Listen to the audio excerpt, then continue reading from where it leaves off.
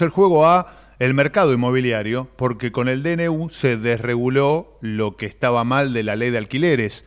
¿O Sí, es así? sí, sí. ¿O cómo se vive actualmente? Está con nosotros Oscar Puebla, él es arquitecto, broker, especialista en real estate, que no solo nos va a hablar de alquileres, pero empiezo por ahí porque justo viene la charla por ese lado de las cosas que hay que empezar a cambiar.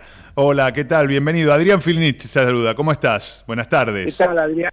¿Qué tal, Adrián? Un gusto y un gusto escuchar esa mesa este, donde tenemos posibilidades de reflexionar cosas que realmente vienen vienen muy atrasadas, ¿no?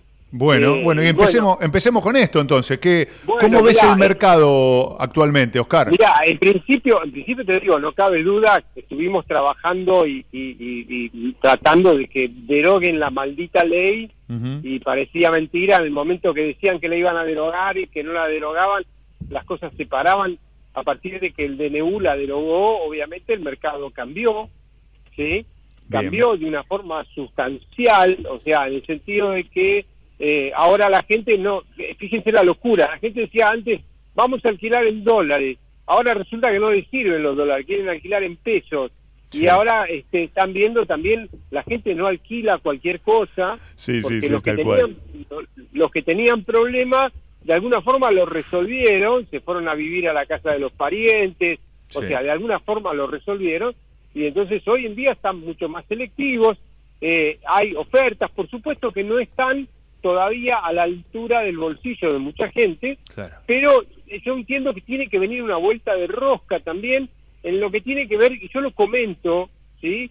Decir, bueno, a ver, ¿por qué no, por qué no pensamos en la posibilidad de tener viviendas compartidas, donde, como, hacen, como hacen en España, donde tienen una persona que es compañero de piso? Ajá. Eh, acá dice, no, pero ¿cómo vas a vivir con otra persona? Y, pero, pero eso es así. En España, por ejemplo, es muy común Sí. que se comparta un departamento de dos ambientes o de tres ambientes, se comparte y, lo, y en los contratos de locación está permitido la, la sublocación, porque en definitiva, digamos, un- por ejemplo, uno de los problemas hoy son los departamentos grandes, departamentos de tres o cuatro ambientes.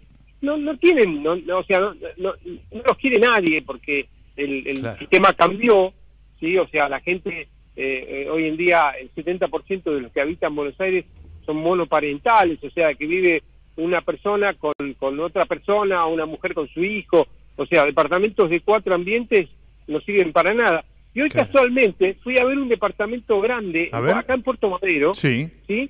que la señora con una inteligencia que yo dije, wow, no lo puedo creer, transformó un departamento de cuatro ambientes en dos departamentos de dos ambientes. Bien. Yo dije, wow, porque bueno, ella, digamos, como los piensa alquilar, es perfecto. ¿Y está Es perfecto. disminuyendo o está aumentando el precio de los alquileres después de la bajada de, de la ley? A ver, lo que está habiendo es más oferta, por lo tanto, al haber más oferta, hay más negociación. Eh, es cierto que nosotros antes pedíamos este, cualquier cosa y la gente no pagaba cualquier cosa. Hoy en día, por ejemplo, eh, no está fácil alquilarlo. Claro. O sea, no- un, de- un dos ambientes, por ejemplo, en 400 mil pesos, no es que me lo sacan de las manos. No Claro. está fácil alquilarlo. O sea, vamos por el camino correcto. Ahora, un problema grande, Sí. y yo diría gigante, Sí. es el tema de las expensas. Ajá. Y es un tema justamente, digamos, de, de las situaciones que se producen en los edificios antiguos. Poco se habla de las expensas. Tenés razón, Oscar. No salen en todos lados. Y es un problema enorme. Es enorme, enorme porque la gente, o sea, a ver, convengamos, hay una situación que se produce con los encargados. Y es que no tengo nada contra los encargados y esto no va contra No, los encargados, laburantes, pero la realidad, eh, la realidad es que, eh, digamos, son la persona más privilegiada de todo el edificio. Porque tienen su casa que, que está incluida, que, o sea, que no pagan alquiler, no pagan servicios, no pagan nada, tienen un sueldo este, que está garantizado y aumentado, digamos, por un sindicato Sí. y, y que no se los puede tocar porque porque lo concreto es que si uno no paga las expensas, este, eh, tienen el derecho a, el edificio, el consorcio de, de, de- de expropiar el departamento, venderlo, liquidarlo, o sea, ¿Qué propones, Oscar? No, no, no sé, ahí no se me ocurre nada porque es muy difícil. Muchos departamentos, muchos ya ahora actuales, edificios nuevos, ya directamente no ponen encargado. Ah, y ese, eh, ya directamente vienen con, con servicio de limpieza. Pero los edificios antiguos, tenemos el problema, por, ejemplo, acá en San Telmo, tenemos un edificio que, bueno, que evidentemente no pueden pagar las expensas, se rompe el ascensor, no lo pueden arreglar, se rompe la caldera, no lo pueden arreglar. O sea, pero, el este, encargado no lo pueden echar. No, no, pues, pues, si se pudiese echar hay que juntar una bolsa de plata porque tiene una indemnización gigante, nadie tiene la guita para esa para esa indemnización. O sea, y es un cuello de botella que, no se salva porque y, te sumo uno en este cuello de botella, que pasa por lo menos en mi edificio, también estoy preguntando a ustedes, mucha vivienda sin habitar, mucha vivienda que no está para nada, está cerrada, no se usa, esperando que, no sé, que el mercado cambie. ¿Es así? ¿Estoy muy alejado de la realidad? Bueno, hay propiedades, en realidad todavía existe, y esto esto es así, ¿no? Todavía existe la, la, la... Hay gente que dice, bueno, vamos a esperar a ver qué pasa. Bueno, es una tontería esperar a ver qué pasa, porque depende de lo que tenga que hacer uno con el dinero. Eh, eh, supongamos que bien que vende mal, compra bien. Por ejemplo, unos clientes nuestros acaban de vender una propiedad acá en Capital, un departamento de dos ambientes en San Telmo, y este y bueno, eh, no, lo vendimos barato, sí, pero se fueron a comprar a Mar del Plata y compraron muy bien con ese dinero. Claro. Entonces uno dice, eh, claro, y compraron una propiedad de 220 metros cuadrados en algo de 100, 110 mil dólares. Sí, pero ¿cómo pagás eso? Y bueno, es lo que sucede cuando uno está buscando eh, eh, y tiene dólares, va con los dólares a otro lado. El tema es que si uno, que digamos, uno se quisiera quedar con los dólares, bueno, por supuesto, pero si uno sale y invierte, es lo mismo. ahora, les aclaro, yo creo que venimos, o sea, todo esto viene bien, o sea, si en algún momento que, Dios quiera eh, se levanta el cepo, bueno, el mercado, el mercado inmobiliario se dispara. Es que eh, yo venía hablando de eso. Estamos eh, metidos en un, un lío grande con infinidad de aristas. Entonces, si nos ponemos a hablar de un tema que es crucial, como es el problema de los alquileres, enseguida te vas a encontrar que tenés, como decíamos hoy, que tenés que hablar del, también del proyecto de reforma laboral, porque una de las cosas que impactan en, el valor de los alquileres es esta legislación que hace que vos te encuentres en un departamento en un edificio que a lo mejor hay ocho propietarios que no pueden costear el, el, costo del portero y lo que les cuesta desligarse para poner a alguien que venga a limpiar y un encargado, porque tenés que también resolver el tema laboral. Y después decís, bueno, lo voy a alquilar en pesos o en dólares y todavía no tenés la, la, la certeza jurídica de que te vas a meter en, mm, un, en un contrato de alquiler y no te lo van a reformar, porque el que se quemó con leche ve una vaca y llora. Entonces, es complejo todo en nuestro país bueno, me parece que está bueno dedicarse al tema este de los alquileres entendiendo que está inmerso en un despelote importante, todo. No, pero yo, este, Carlos es tu nombre, ¿no? Sí, sí, sí. Carlos Napoli. Carlos. Eh, mirá, Carlos, lo que le decimos a la gente en principio eh, es así, ¿no? Eh, o sea, eh, olvídense de un juicio, no existe ni posibilidad de ningún juicio de desalojo, no existe juicio de desalojo posible porque los procesos son muy largos, no hay garantías, o sea, a ver, tenemos que buscar la forma siempre de llegar a un acuerdo y de buscar la posibilidad de saber que en este que en el, lodo estamos todos embarrados, entonces decimos, bueno, vamos a hacer un contrato de locación. Y si me voltean el DNU, mira, la realidad es que lo que firmaste hoy no te lo van a cambiar. ¿sí? O sea, pongámosle que si firmás un contrato hoy, los que estaban respetando el contrato de ahora, te lo van a respetar. Y, y después, ¿qué pasa con la gente? Si me paga, no me paga. Mira, hay una cuestión que está sucediendo que es real. Si uno se fija, se fija en la gente, ¿no? Como gente en sí, con todos los elementos que puede ver, ¿sí? es más importante las personas que las garantías de las personas. Muchas veces la, la, la gente dice, no, yo me tengo que fijar en las garantías, las garantías son relativas, porque las propiedades que pueden poner en garantía se pueden vender, o sea, pero la verdad que cuando uno le pide a la gente referencias, la mayoría de la gente te puede dar referencias de dónde vivió, que vino pagando, o sea, y vos te das cuenta que son buena gente, tipo que, se, que, que te dicen, mira, yo no te puedo pagar más de esto porque no te puedo pagar más de esto, pero te está discutiendo el precio porque sabe que te lo va a pagar. La verdad que nosotros no tenemos problemas con inquilinos que no pagan, porque con, digamos, simplemente diciéndole, mira, ¿me puedes pasar el teléfono de las personas que te estaban alquilando? ¿Me puedes dar referencias tuyos comerciales?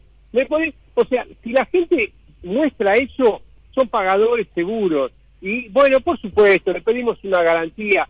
Pero ¿qué garantía? Mi, mi prima tiene un departamento en Castelar. Bueno, dale, tráelo. Mi amigo tiene una casita eh, en Morón. Bueno, dale. O sea, ¿por qué? Porque en definitiva uno sabe que a uno, si es un amigo, un primo, uno sale de garante.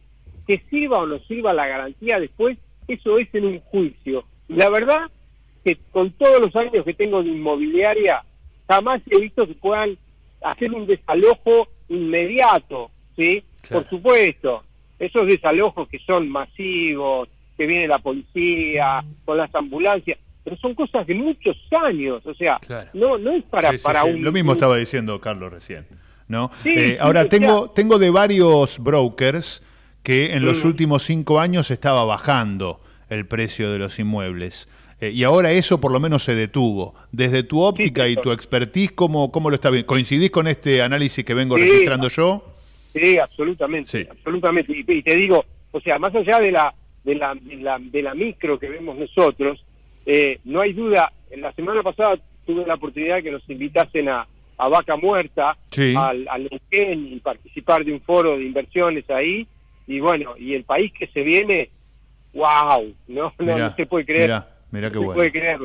La, gente, o sea, en una en una reunión que se llama se llamaba Vaca Muerta Insight, donde estaban todos los CEOs de todas las petroleras, bueno, el lugar estaba resbalsado, o sea, no, no no tomaban, o sea, los mismos los mismos organizadores pedían disculpas porque se vieron superados por la cantidad de gente, no había sillas, todos parados. Mira, me, encanta además esta charla, te, te traería acá al estudio porque tengo un montón de preguntas, pero cortita. Eh, ¿Compro de pozo o compro eh, usado inmueble ahora? A, ver, a ver, a ver, yo creo que en este momento... Cortita que tengo muchas, ¿eh? Bueno, la, inversión de pozo es una muy buena inversión, pero depende de cómo te la a ver cómo te la te la te la, te la ponen la, la de pozo. Sonó fuerte igual. está bien, está bien, me metí que hablar así, con la verdad, con la, verdad. Pero, pero porque en definitiva el problema, ¿sabes cuál es? Es que vos si vos te vas a estar atado al CAC, que es la, el, índice de la construcción, la construcción va a seguir subiendo como loco. Claro. Preferible buscar de comprar algo que esté más o menos terminado, que vos puedas acordar un valor en dólares, que digas, bueno, a ver, compré esto en 90 mil dólares y me quedan pagar 20 mil dólares, pero dólares. Dólares, dólares. Y, que, las empresas constructoras uno pueda mirarles un poquito a la espalda. Porque hay algunas que están golpeadas. ¿eh? Sí, ¿eh? y aumentaron 200% interanual de los datos que yo estoy manejando. Eh, ¿Y me conviene dejar la vivienda cerrada esperando que pase el momento o ya la pongo en movimiento? No, no, yo creo que en este momento depende. Yo, si vos serías cliente mío, te pregunto, ¿qué vas a hacer con el dinero? Tenemos muchos clientes escuchando, Oscar. Sí, bueno, por eso, ¿qué vas a hacer con el dinero? Si el dinero lo vas a reinvertir, el, secreto en este momento es poder elegir que tengas un buen agente inmobiliario que te siga atrás en la búsqueda, porque hoy es muy difícil buscar en los portales. Los portales están explotados. Hay 160 mil propiedades publicadas y hay un, con el tema de los algoritmos es muy difícil para una persona que no sea especialista encontrar propiedades en precio. Bien. Oscar, ¿dónde te encontramos a vos ahora? Ah. Bueno, eh, yo, digamos, este, mi, mi Instagram es arquitecto Oscar Daniel Puebla. Arquitecto Oscar Daniel Puebla. Así, así empezamos esta, esta recorrida. Viste que tenía un montón de preguntas, eh, pero bueno, nos fuiste solucionando muchos temas. La próxima te venís acá al estudio, charlamos, te quedás, tengo unos mates acá para compartir. Eh, y hay que tener cuidado cuando, cuando está de pozo, cuando que te la ponen, ¿no? Ahí hay que tener. Y a veces pasa eso. Hay que tener mucho cuidado. Te iba a preguntar por countries también, porque hay gente que está me, me está diciendo que quiere poner plata en country. Bueno, para la próxima, ¿qué te mucha- parece? En country hay movimientos gigantes. Gigante, ir para el lado de Escobar Sí. es gigante, no se puede creer. Fui para el lado de Canning también. Fui para el lado de Oh, Canning y también. Sí, también, también. Bueno, viste, acá vamos a tener Bueno. tema tela para cortar.